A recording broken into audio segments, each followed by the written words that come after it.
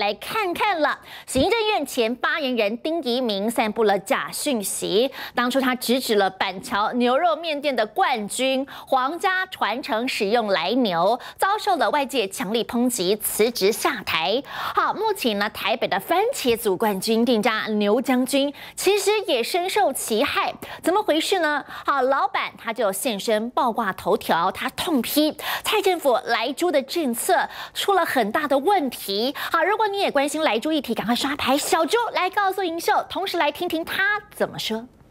我是觉得哈，因为因为政府在完全没有做好准备情况之下，就突然就要我们全民去接受这样的哦所谓的来猪进口，啊，这个就是美国霸凌台湾，然后台湾政府霸凌人民嘛，最最坏的示范。嗯，真的，我是觉得哦，国民党国民党不敢干的事情，民进党全都干了，啊，比对岸的共产党还可恶。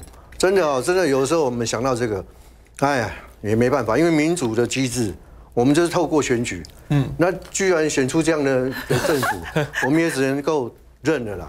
那只能够说，现在的百姓呢，各个商家、各行各业，只要有关于猪的部分呢，嗯，有些人可能就他不卖了嘛，嗯哼，我这个项目不卖，像我店里本来有卖。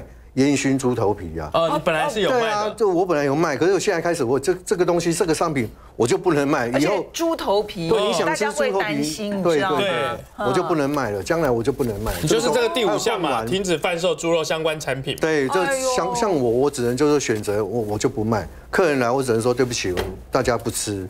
像我店里也有贡丸啊。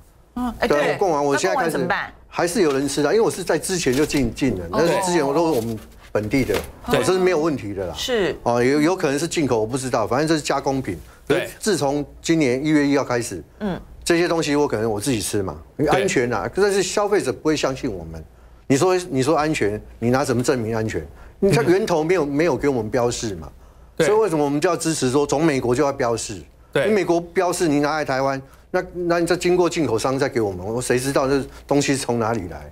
完全我们也不知道，到最终我们有可能变成也是受害者。那我为什么要承担这个风险？我倒不如不要卖。目前立法院最新的国会大现场，我们时间先连线李佩轩来告诉大家。现场，现在跟你聊些什么呢？聊一些立法院会不会有一个新的契机出现了？在过去刚结束的这个会期，会发现到呢，不管是行政院长苏贞昌，或者是他辖下的官员们，进到立法院的时候，常常会因为爆发出火气，甚至常常会出现有顶嘴的状况，被称之为是反质询最有一次反质询的一次会期。也因此呢，现在其实有三名蓝委，他们都分别提出要来修所谓的立法院职权行使法，而他们三个版本都不尽相同。不过在修。走的时候，包包含了国民党的立院党团总召林维洲，他也针对这一次的修法，他也提出了说明，赶快来听听看。我觉得，如果用立宪法里面的规定，以及立法院职权行使法里面的规定，官员有义务回答国会议员提出来的问题，他可以回答不知道，也可以回答不同意，哦，就是说。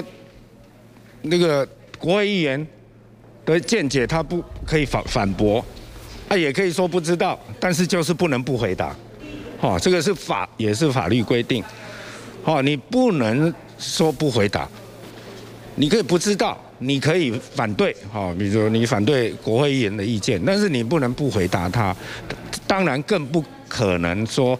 可以来反质询啊，这个是明文写在职权行使法里面。你到立法院来，你没有资格问立法委员问题啦，哈，这个是不是官员有的权利？只有立法委员是可以问官员的，这个讲这个很清楚。这个就是我们国家民主制度的监督制衡的设计啊，任何民主国啊，民主的国家都是如此，哈，那。我们最近看到很多官员已经就是恃宠而骄了，我我不知道他怎么讲啦，各种形容词啦哈，然后没有把这个在野党放在眼里啦，然后上面的人很信任他呢，他就他又他就很骄傲哈，然后跟呃国会议员对呛哈，或者是。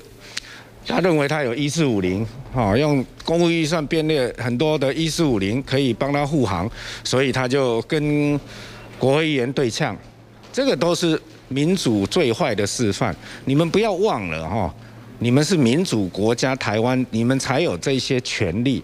哈，那台湾人民追求几十年的民主，然后三权分立、五权分立，然后才有国会自主，可以来监督我们的行政官员。那如果你们继续这样做，你们是在破坏台湾三十年来追追求民主宪政的成果。好，这个是民主罪人呐，哈，这台湾的罪人呐，哈，不要骄傲了，哈。嘿个摇摆无落魄的久啦，好，政党会轮替的啦，好啊，大家都要记得。随时大家都可能变成是在野党，国民党也一样，民进党也一样，你执政你也会在野，好，民众。人民才是最大的。支持中天的好朋友们，YouTube 中天电视频道即将开通会员功能，诚挚的邀请您一起来加入会员，挺中天。加入会员将实质的帮助中天新闻维持营运，中天新闻近四百位的员工感恩在心。而 YouTube 中天电视会员功能即将上线，相关的资讯更进一步的内容，敬请关注中天新闻直播、中天新闻脸书以及快点 TV 脸书粉专。